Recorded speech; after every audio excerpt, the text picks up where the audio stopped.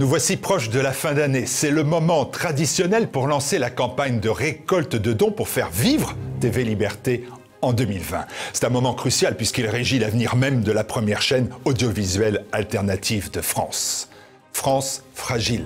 Fragile la France est devenue fragile. Chacun le sait, beaucoup de décisions et d'événements fragilisent notre société, notre nation. La montée d'un multiculturalisme violent, d'un islamisme radical conquérant et d'un terrorisme que l'on tente de cacher ou nier. Les craintes d'une crise financière mondiale qui amènerait à taxer les comptes des particuliers. Il y a peu à Chypre, au sein de l'Union européenne, tous les déposants ayant des comptes de plus de 100 000 euros ont perdu 60% de leur épargne sur une simple décision gouvernementale. Les irresponsables qui nous gouvernent fragilisent notre peuple privé de sa souveraineté et de son identité, dépossédé culturellement et socialement.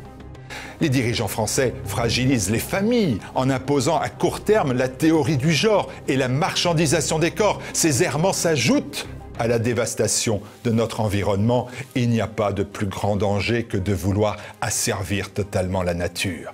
La France fragilisée, de fait. Elle disparaît sous nos pas, sous nos yeux. Dès lors, le rôle de TV Liberté est d'être un moule de résistance et de reconquête. Ensemble, en l'espace de six années, nous avons fait face au coup près de la censure qui cherche à criminaliser les idées justes et même de simples constats.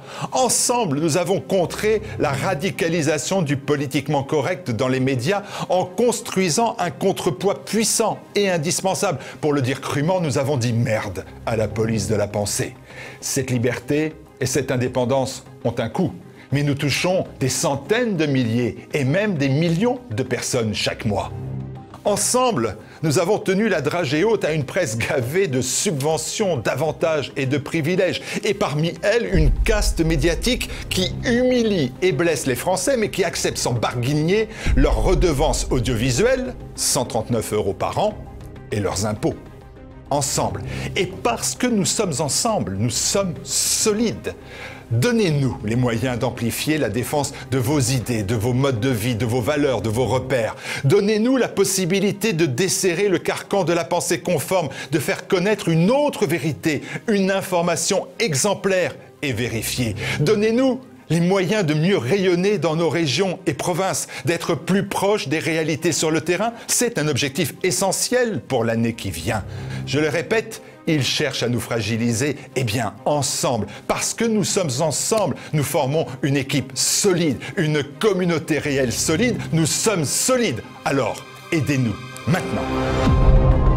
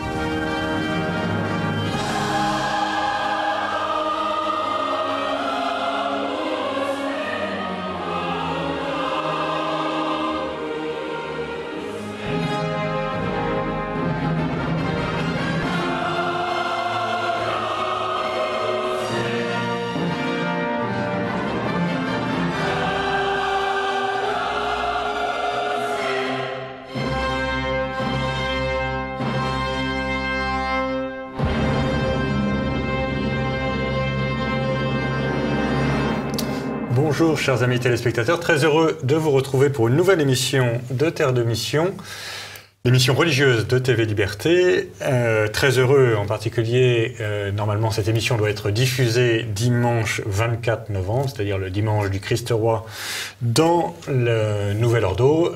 donc euh, je nous souhaite à tous, je vous souhaite, chers amis téléspectateurs, et je nous souhaite à tous que le Christ règne toujours plus dans nos cœurs, nos familles et notre nation.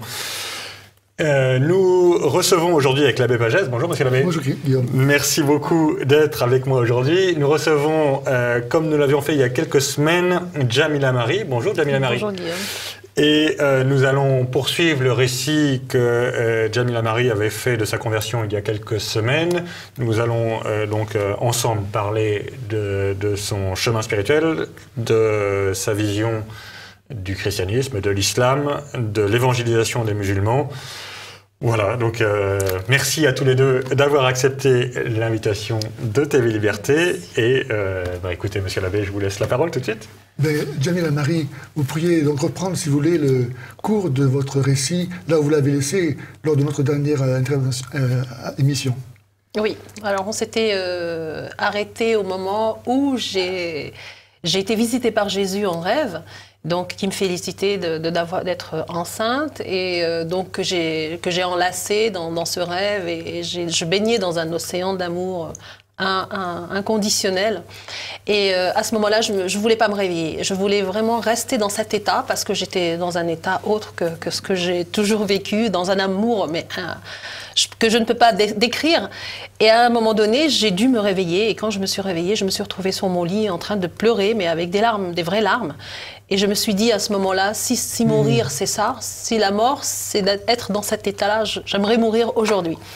Et euh, par la suite, donc, euh, donc j'ai eu ma fille, et Dieu m'a donné encore deux autres enfants sans traitement. Donc il a complètement, ce n'était pas simplement un, exaucement de prière, ça a été vraiment une guérison, puisque je pense qu'il a rétabli mon, utérus, il l'a remis à neuf, puisque j'ai eu deux garçons par la suite. Euh, donc, à l'âge de 44 ans, euh, mon dernier enfant, donc Samuel, euh, que j'ai eu et que j'ai refusé d'avoir des, des euh, c'est-à-dire des, euh, des, pas des traitements. On m'avait dit de faire une amniosynthèse pour voir si l'enfant ah était euh, trisomique, chose que j'ai refusée parce que pour moi il était inconcevable, même s'il était trisomique, d'avorter, de, de, puisque c'était un don de Dieu et pour moi c'est la vie. On ne peut pas, on ne peut pas retirer la vie à un enfant, même s'il était trisomique. Je me suis dit si même Dieu me donne cet enfant trisomique, c'est hmm. qu'il a un plan aussi pour lui et je dois conserver cet enfant. Donc, mais tout, à fait normal, il n'y a pas eu de problème. Donc, euh, par la suite, donc, quand j'ai eu donc, ma fille, après juste l'accouchement de ma, donc, de ma fille, euh, je suis allée voir euh, un prêtre donc à l'église, c'était l'église qui était pas loin de chez moi, pour demander le baptême, comme j'avais promis à Jésus lors de, de, de, cette prière. que j'avais faite. Donc, je suis allée voir un prêtre et donc j'ai demandé à être baptisée. Donc, j'ai fait un chemin de, de catéchuménat. Et euh, par la suite, donc le jour de mon baptême, c'était le, 22 mars 2008, euh, donc à la vigile pascale. Euh, j'ai reçu les trois sacrements. Ce soir-là, ça a été le baptême, l'Eucharistie et la confirmation. Et au moment où, où j'ai reçu le, Saint Crème, donc il y a eu un moment où je me suis retrouvée comme dans une bulle. Je n'entendais plus l'assemblée. Donc j'étais dans un, j'ai l'impression que j'entendais des brouhahas autour de moi, mais je n'entendais plus rien. Et j'étais enfermée comme dans une bulle. Et là, j'ai entendu une voix très profonde qui me dit maintenant, tu vas annoncer Jésus, et surtout aux musulmans. Alors je ne comprenais pas ce qui s'est passé. Et puis à un moment donné, cette voix qui était très très claire et très forte, euh, bon, s'est dissipée et je retrouve à nouveau le bruit, les chants, etc. Et je suis rentrée chez moi naturellement et euh, ça m'a poursuivi pendant un moment. Donc, euh, qu'est-ce que ça veut dire d'aller annoncer aux musulmans? Qu'est-ce que ça voulait dire? Qu'est-ce que ça voulait dire? Donc, je me suis dit peut-être c'est cette joie que j'ai reçue à ce moment-là, euh, d'aller peut-être aussi apporter cette joie euh, d'annoncer le Christ à mes parents et mes proches qui sont musulmans. Et au final, euh, oui, j'ai commencé par, euh, par ma famille, évidemment. Donc, euh, j'ai commencé à parler de Jésus à, à, tout mon entourage, partout où je passais. J'avais comme une soif de, de faire connaître cet amour. J'avais l'impression, moi, j'ai vécu une libération. J'avais l'impression d'avoir été dans les ténèbres pendant toutes ces années et d'être revenu à la lumière. Vraiment, je, ma vie a pris un sens. Je me suis retrouvée quelque part. lors de, quand j'ai reçu vraiment cette grâce, j'avais l'impression d'être moi-même. Et j'ai voulu au communiquer dans l'amour parce que j'ai reçu beaucoup d'amour. Donc je, cet amour, il fallait pas que je le garde. C'était voilà. Et j'en ai parlé. Mes, mes parents au départ, ça, voilà, ma famille refusait. Euh, ils ne voulaient pas que je. je pour, eux, j'étais libre de faire ce que je voulais, mais il fallait surtout pas que je, je critique l'islam ou que je parle d'une autre religion que, que la leur. Et petit à petit, donc, je, me suis dit, mais Seigneur, qu'est-ce que, qu'est-ce que tu veux dire par, par euh, aller annoncer Jésus? Donc, je me suis retrouvée à faire de, de l'équipe animatrice. J'ai fait pendant six années euh, d'équipe animatrice. Ça veut dire? C'est-à-dire, j'étais dans, une, dans notre paroisse. Donc, on a deux, un mandat de trois ans où on prépare euh, pour, pour la, la paroisse, c'est-à-dire euh, tous les événements à venir, etc. Donc, on est un petit groupe avec le, le prêtre et on essaye de faire des choses dans la paroisse. Donc, L'équipe c'est l'équipe d'animation par, animatrice, voilà, paroissiale. Pas, pas spécifiquement pour les musulmans. Non, non, non, du tout. C'était dans ma paroisse. Parce que c'est vrai que j'ai intégré ma paroisse. J'étais la seule convertie. Euh, l'accueil, c'est vrai que, bon, souvent on parle de l'accueil des musulmans. Moi, je voudrais aussi ajouter un point par, par rapport à ça. C'est vrai que euh, il y a cette peur, il y a eu cette peur. Même lors, lorsque j'ai voulu euh, être baptisée, j'ai senti que autour de moi, il y avait quand même un mal-être. C'est c'est très difficile aussi pour un musulman d'aller demander euh, le baptême parce qu'on a l'impression que, eh bien, On va pas le donner. voilà. J'ai senti cette peur alors que moi-même je suis allée jusqu'à l'évêque parce qu'il y a un moment où il fallait euh, passer à l'acte et euh, je lui ai dit moi le Seigneur m'a m'a tendu la main. C'est pas l'homme qui va qui va euh, freiner. C'est pas l'homme qui, qui me refusera. S'il faut que j'attende jusqu'au dernier jour de ma vie mais je demanderai le baptême et j'irai jusqu'au bout. Donc ça a été très très dur d'aller jusqu'au baptême mais bon ça c'est un point. Mais euh, quand je suis arrivée dans mon église il a fallu que je trouve ma place. Moi pour moi c'était une évidence. Je comprends que certains musulmans aujourd'hui quand ils reçoivent le baptême ils se retrouvent un petit peu perdus parce qu'après un, un- un- deux ans de catéchuménat ou un an et demi euh, donc on est bien entouré. Et puis à un moment donné on se retrouve tout seul. Et ça c'est tr- voilà c'est très difficile surtout quand on perd sa famille quand on n'a plus personne parfois des amis. Euh, on, on a l'impression que ben on est tout Ouais, seul. et, et- et la- l'église doit être avant tout une famille. C'est une famille et pour moi, c'est vrai, quand je suis arrivée dans l'église, euh, j'ai essayé. Pour moi, moi je, je voyais ça comme euh, une invitation, que le Seigneur avait déjà, ma place, elle était réservée. Donc, euh, c'est lui qui m'accueillait, avant Ouais. tout. Ah. C'était vraiment... Et Est-ce que, pardon, euh, ju- juste sur le plan technique, entre guillemets, est-ce que vous pensez qu'à côté des équipes de catéchuménat, il faudrait des équipes d'accompagnement des nouveaux baptisés ou, et je, et je parle des musulmans, mais pas uniquement des musulmans, d'ailleurs, c'est des, des, ans- des musulmans convertis. Je pense. Euh, Je pense qu'on devrait avoir une équipe d'accueil pour les mettre un petit peu sur le rail, parce que c'est vrai que c'est tout un, un- un bouleversement. Il y a beaucoup de personnes, surtout dans chez les musulmans, de- de- de- d'entrer dans la foi chrétienne. Ça demande beaucoup de, de- de- de- de, euh, Courage. de courage et, puis de, euh, aussi de rupture avec la, Absolument. d'avant. hein. Donc, et quand on se retrouve euh, tout seul, aller à la messe tout seul, tout seul dans, dans- sur, dans son, sur son banc, euh, c- je trouve que c'est- c'est c'est très difficile. Et donc, euh, j'ai été appelée donc, à faire le- le- le- l'équipe animatrice. Donc, je suis restée trois ans. Donc, on a eu un mandat de trois ans. Ensuite, j'ai refait trois ans. Et puis, je sentais pas que c'était vraiment l'appel. Mais je ne comprenais pas, je me disais c'est pas ma place parce que je n'avais pas d'idée, je ne savais pas faire taper sur un, un ordinateur, je n'avais pas vraiment toutes ces capacités de trouver des idées, etc. Mais j'ai quand même fait ce chemin jusqu'au jour où le Seigneur, en fait, j'ai compris par la suite qu'il était en train de préparer mon cœur. Parce que pour faire l'évangélisation, c'est pas, on n'envoie pas quelqu'un comme ça. Il préparait tout, le terrain, le temps. Il y avait un temps pour lui. Jusqu'au jour où j'arrivais à la fin de, mes, de- de- des six ans, il y a eu quelqu'un qui est arrivé, qui a, qui a rejoint notre groupe et qui a parlé de l'évangélisation. Quand il a parlé de l'évangélisation, à un moment de l'évangélisation, je pensais qu'il y avait que les témoins de Jéhovah qui, qui allaient euh, frapper chez... Oui, pour parler de Jésus, moi je ne savais Même pas. au bout de six ans dès- que Je ne savais pas, je ne savais pas du tout. Moi, pour moi, c'était Eh que ben. il y a que eux, et je les enviais parce que quand ils- je, les, vo- je les voyais avec ce courage d'aller parler de Jésus, j'avais cette soif, ce zèle en moi d'aller parler de Jésus. C'était pour moi une nécessité, c'était vital. Il fallait que je parle de Jésus. Je ne pouvais pas rester sans parler. Et donc, euh, quand il a parlé d'évangélisation, on va faire un groupe d'évangélisation. Donc, lui, c'était un projet qu'il voulait faire. Et là, tout de suite, moi, pour moi, c'était l'appel. J'ai entendu vraiment le Seigneur maintenant. Il m'a dit, c'est le moment. Et je suis allée voir cette personne. Donc, j'ai intégré le groupe pour, euh, pour, euh, pour faire de, de Et c'est un groupe l'évangélisation. d'évangélisation à destination des Ah bah musulmans si. ou en général En général, euh, général, euh, porte général. porte Mais comme nous sommes, dans la rue bah tout, tout, on a fait le- le- la rue et puis le porte-à-porte. Et donc euh, c'est un groupe qui, qui est qu'on a lancé depuis euh, à peu près 4-5 ans, qui s'appelle le Salut pour tous. Et une fois par mois, donc, on se réunit pour faire euh, l'évangélisation sur les trois paroisses de Massy. Et euh, donc par la suite, donc j'ai intégré ce groupe et pour moi, c'est devenu, pour moi, c'était euh, c'était ma vie d'aller annoncer le Christ. J'ai trouvé vraiment, j'ai senti que c'était euh, c'était vital d'aller porter cette parole, à, surtout que nous sommes, il y avait beaucoup de musulmans, et j'ai vu l'accomplissement de la parole de Dieu, puisque quand il m'a dit tu vas évangéliser surtout les musulmans, oui, nous sommes entourés de beaucoup de mm. musulmans. Et comment est-ce que la parole est reçue? Enfin, vous avez des...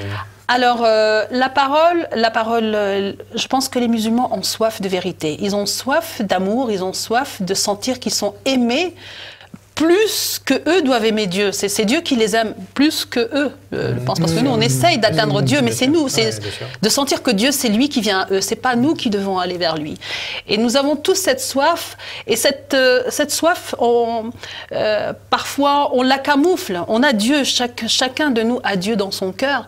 Mais ce Dieu de l'islam ne correspond pas du tout à ce Dieu que nous avons, nous, qu'on a appris à nous, à, nous faire, euh, que nous qu'on nous a inculqué. Quoi, Et concrètement, comment ça se passe, votre euh, ministère d'évangélisation Donc, alors, une fois par mois, c'était donc avec ce groupe du Salut pour tous. Après, le Seigneur m'a appelé euh, à faire le marché. Le marché, c'est-à-dire le vendredi et le mardi, il y a le marché. Dans Deux fois par semaine, donc. Voilà, le matin, donc, euh, on se retrouve au marché de, de, de, notre commune, de Bassy, donc pour, pour faire l'évangélisation. Donc, ça a été la, la, première, euh, la deuxième étape. comment vous faites là? Alors, donc, on est là, on a une table, nous avons des, des, des, évangiles en français, Comme un en arabe. donc, vous avez votre stand. Voilà, un petit stand, et puis on a des paroles, donc d'évangiles, on a des évangiles en français, en arabe, on a des CD aussi sur la vie de Jésus, euh, en arabe et en, langue aussi kabyle, etc. Et donc, on, donne ou des, petits dépliants, des ah choses sur des questions sur l'islam. Ça se passe bien Les gens viennent voir votre stand Ils viennent, ils viennent. Vraiment, ils on a eu, ils parlent, ils parlent, on chante aussi, donc on fait des louanges. Donc, Vous avez des euh, instruments de musique? Alors, on a un petit tambourin. Là, maintenant, on a, on a un djembé. et, euh, vous avez du djembé, vous, je crois Oui, absolument. Vous êtes, combien autour du stand? Alors, le mardi et le vendredi, alors on, on a commencé avec deux personnes, on était deux personnes. Ensuite, il y a d'autres personnes qui se sont joints à nous, qui sont de la commune de, Fontenay. Euh, il y a même un, monsieur qui s'appelle euh, André, qui vient euh, de Paris, qui vient nous rejoindre parfois. Donc, nous, on peut se retrouver quatre 3, 4, ça dépend. Et par la suite, le Seigneur a voulu encore plus, c'est que bah, je, travaillais, donc j'avais que le, mardi matin et le vendredi matin pour pouvoir euh, faire l'évangélisation en plus une fois par mois.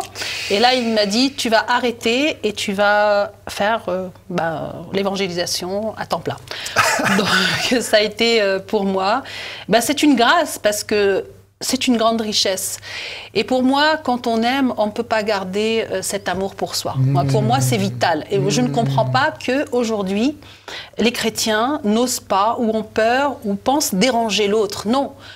L'amour ne dérange pas. Mmh, La vérité ne dérange pas. Et, le politiquement correct, eh bien, euh, a, justement camoufle la vérité. Parce qu'on ne peut pas être dans la vérité et puis être justement, dire tu es musulman, je te respecte tel que tu es. Mmh. Moi, pour moi, c'est non assistance à personne en danger si mmh. on n'annonce pas Jésus. Puisque Jésus, c'est le sauveur. Soit nous avons notre foi, on est convaincu que nous sommes chrétiens et que seul Jésus sauve, mmh. soit on ne l'est pas. On ne peut pas être à la fois l'un et l'autre. Dans ces cas-là, on pourrait dire je ne suis pas chrétien, je suis quelqu'un qui croit à Dieu et à toute forme de religion. Mais si je suis chrétien ou chrétienne, nous devons être euh, convaincus hmm. que seul Jésus sauve. Hmm. Il n'y a pas d'autre salut. Et là, hmm. l'Évangile le répète plusieurs. Donc, pour moi, voir quelqu'un, c'est comme si j'avais un diplôme de natation et je vois mon frère, mon frère en train de couler, et je me dis bon bah c'est pas grave, il va s'en sortir tout seul. La réaction, ça serait tout de suite, je vais aller vers lui. Et notre baptême, nous ne l'avons pas reçu que pour nous, parce que nous ne méritons rien. Nous-mêmes, moi, je pourrais, je suis qui pour prétendre que j'ai reçu le baptême? Bon, Seigneur a donné sa vie pour moi, bon, les autres, ils se débrouillent. Non, hmm. c'est une mission que le Seigneur nous confie. Parce que tu as reçu, je compte sur toi pour aller aussi. Et dans chaque famille, vous pouvez remarquer, dans chaque famille, on a quelqu'un qui est là pour porter nous, nous, sommes la lumière du monde, nous ne sommes pas rien. Et cette lumière, nous ne pouvons pas la laisser, on ne peut pas la mettre, comme il dit, sous le boisseau. Et euh, quand, vous annoncez, les, gens reviennent Est-ce qu'une est fois qu'ils ont pris l'évangile, ils se sauvent Non. Euh? Alors non, on a eu des personnes qui sont revenues, il y a des personnes qui ont demandé le baptême, il y a des personnes qui, euh, qui nous m'ont dit ouvertement, je l'évangile, j'y crois, etc., mais je ne peux pas faire le, pas. Mais ça, ce n'est pas nous. Nous ne sommes pas là pour, euh, pour, euh, pour, Voilà, nous ne sommes pas là pour convertir. Seul l'Esprit Saint convertit. Nous sommes là pour annoncer. et, comme, voilà, comme disait Saint Paul, hein, Apollos euh, sème, mm. Paul arrose, et Dieu fait croître. Donc nous, nous sommes là simplement annonce. Et nous aurons des comptes à rendre. Ce que les chrétiens ne savent pas, c'est qu'un jour, Dieu, on devra rendre des comptes. Qu'est-ce que tu as fait de ta foi? Qu'est-ce que tu as fait de ce que je t'ai donné? Tu as reçu la grâce, tu n'étais pas mieux que l'autre. Toi, si, je t'ai fait confiance, c'est pour que tu puisses aussi euh, apporter cette bonne nouvelle. Et donc nous devons, nous devons, moi je le dis aujourd'hui, que ça soit, je suis parfois, je suis triste de voir que euh, on parle du même Dieu, de, de, on fait beaucoup de choses pour parler de euh, le, l'interreligieux, inter, mais dans l'interreligion, qu'est-ce qui se passe? Chacun, on n'est pas dans la vérité. C'est ça. on n'est pas dans la vérité. Tout, dépend en fait. L'interreligieux peut être une façon de, comprendre les différences et d'apporter la, vérité du salut, ou ça peut être une façon de passer son temps en discutaille. Et, Mais malheureusement, c'est, on pourrait dire interculturel. On peut avoir des, des, réunions entre musulmans, juifs, chrétiens, etc., pour parler de, de, de, l'amour, de, etc., un peu de, ce que... Mais dans, dans, la religion, alors il faut que les deux, quand on parle de la foi, il faut qu'on soit dans la lumière. Mmh, bien sûr. On ne peut pas camoufler, parce que la vérité, c'est... L'amour, c'est la vérité. Mmh. Amour, va avec vérité. Donc souvent, les musulmans, eux, ne disent pas que nous, dans notre foi, que l'islam dit que les chrétiens vont en enfer. Je ne pense pas qu'ils le disent ouvertement quand il y a une réunion hmm. autour de, de, chrétiens et de juifs. Ils vont pas le dire. Hmm. Ils vont dire oui, on va parler de Jésus. nous avons profondément tout en croyant Absolument. que le, Coran dit qu'il faut adhérer à Jésus-Christ pour être sauvé. Voilà, ils vont simplement parler de nous avons Jésus dans le Coran. Nous voilà. Nous avons Marie, qui n'est pas Jésus n'est pas le même. Hein, c'est pas du tout notre Jésus. Jésus, c'est pas la même Marie. C'est pas la même Marie. Les chrétiens vont parler aussi autour de ça, autour de Jésus, de Marie, mais c'est tout. Hmm. Mais le, chrétien va jamais dire que hmm. il n'y a que Jésus qui sauve. Hmm, Ils vont pas le dire. Donc ça va rester autour de quelque chose qu'est-ce qui, nous arrange tous ensemble, euh, et, mais c'est pas dans la vérité. Et le salut, est-ce qu'on en parle?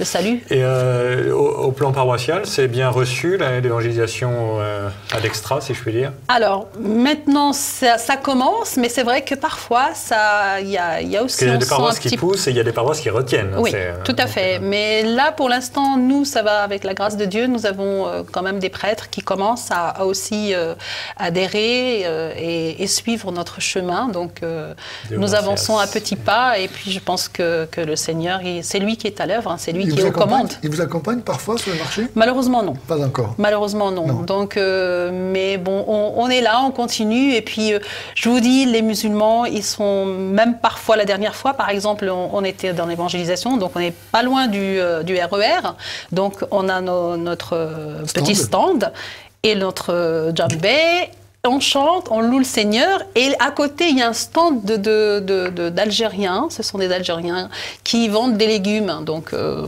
bah, à côté de, sur le trottoir. Et euh, quand on ne va pas, le jour où on ne va pas, ah, oui. eh ben, ah mais vous étiez où? Alors ça nous a manqué. Mmh. Alors ça nous a manqué la musique. Mmh. Donc ils, ont, ils se sont même imprégnés. Donc nous on croit que la puissance, on ne se rend pas compte de la puissance de l'Esprit.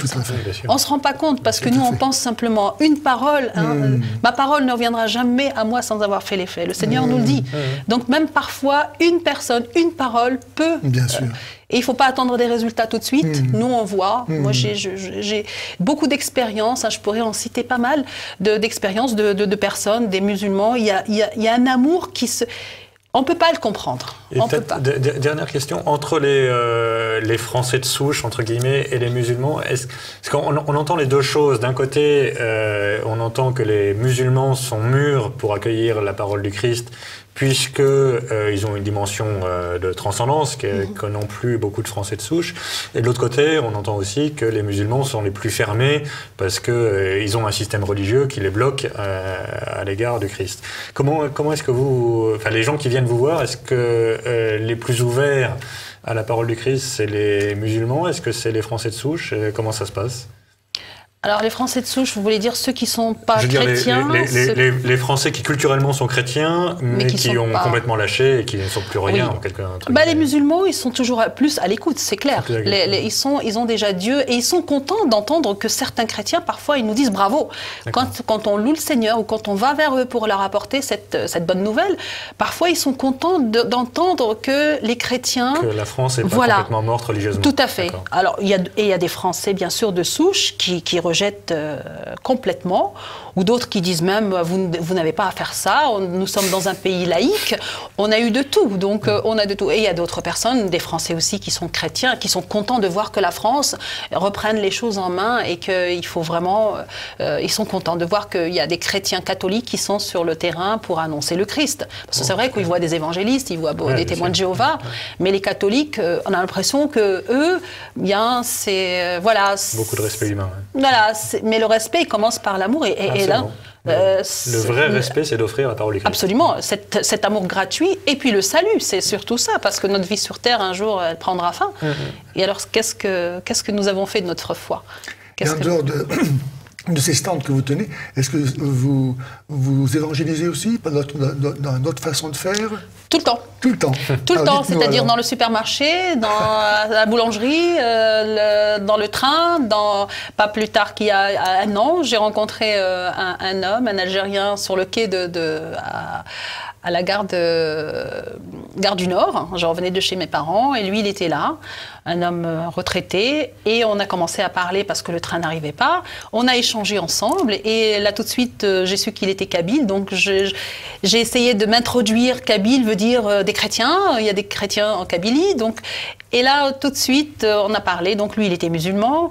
Et je lui parlais de ma conversion. On est resté à peu près 20 minutes sur le quai en attendant le, train à discuter de, de Jésus et j'ai vu qu'il a une certaine ouverture, il était très à l'écoute. Hmm. Pour finir, on a pris le, train ensemble et comme il me parlait de douleurs dorsales, etc., donc j'allais aller le jeudi suivant à Saint-Nicolas-des-Champs, hmm. où il y a quand même, vous connaissez, un peu, beaucoup de guérisons. Hmm. Je lui ai proposé s'il voulait aller, il a accepté, on a échangé nos numéros, il a fini par y aller. Il, a, il a trouvé que c'était fantastique. Enfin, il m'a parlé mmh. d'une manière que vraiment il a été touché par les prières. Mmh. Il est revenu un an après, il est en France actuellement. Il m'a recontacté, il est retourné à Saint-Nicolas-des-Champs et il veut même faire une retraite euh, spirituelle. Donc voilà, ce sont, voilà comment Dieu accompagne. C'est-à-dire qu'il ne faut pas lâcher. C'est-à-dire que... On n'est jamais en vacances. Non, et avec, non Dieu est en vacances, vous pensez? Donc nous, quand il nous met une personne sur notre chemin, ce n'est jamais un hasard, c'est vraiment pour, pour quelque chose. Vraiment eh pour. Merci beaucoup, euh, Jamila Marie. on prie pour que d'autres euh, évangélisateurs se lèvent, on prie pour que votre parole porte du fruit le plus abondant possible. Et euh, bah, écoutez, chers amis et téléspectateurs, euh, gardez cette intention de l'évangélisation des musulmans dans votre cœur, dans votre prière, notamment à l'approche de l'Avent, puisque la semaine prochaine nous rentrons en Avant et nous allons devoir donc nous allons nous préparer à recevoir le Sauveur. C'est l'occasion ou jamais que nous nous préparions à ce que le Sauveur revienne en France. Il est chez lui en France, évidemment. Et euh, donc, chers amis téléspectateurs, à la semaine prochaine. D'ici là, que Dieu nous garde.